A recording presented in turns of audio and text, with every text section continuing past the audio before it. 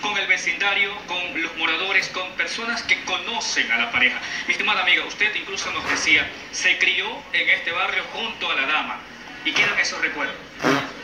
Recuerdo de niñas, a una mujer luchadora, a una persona solidaria que cuando algo pasaba en el barrio, ella era la primera que decía, Ana, vamos haciendo bingo. Si alguien se enfermaba, ella era la primera. Aquí hay una colaboración, una mujer cariñosa que siempre estaba dispuesta a colaborar en, lo que se pudiera. Qué lamentable lo que ha pasado, amigo.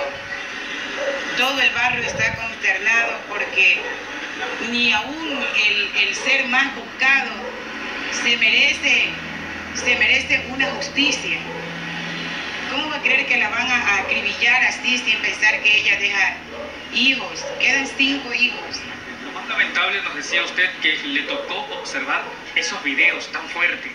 Ayer me dice mi hija, mami, dice, mire, y a lo que yo miro, volteo así, eran los videos que estaban en las redes sociales, cómo lo acribillaban al vecino.